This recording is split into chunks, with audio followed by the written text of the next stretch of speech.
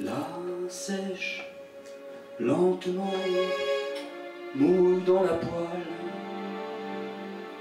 Elle invite au coït aquatique. Elle prie Dieu de pouvoir lire à Liège, de pouvoir s'asseoir dans le Saint-Siège pour prendre enfin place dans l'ascenseur social en laissant pendre ses tentacules. Dans ses agapes, elle fait vivre des massages qui vernissent la chantilly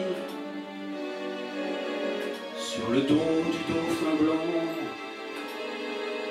Les sardines souterraines frétillent sur la route du retour. Des contemporains se mangent les reins au restaurant bord de la voile de la démence et du ciment. La laine fétide alors offre du désherbant.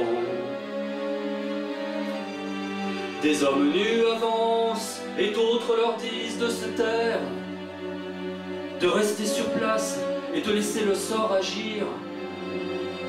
Les femmes s'énervent, elles s'adossent au carrosse cris, griffes, et font cuire la sèche au minimum.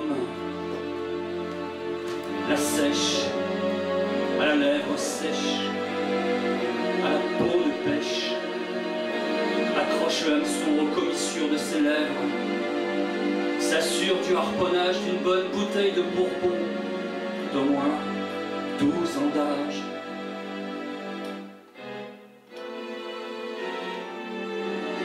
L'individu périssable a la certitude des pierres vivantes, destinées à remplir le vide de sa génération, à produire de la chair humaine comme seule raison de vivre la solitude.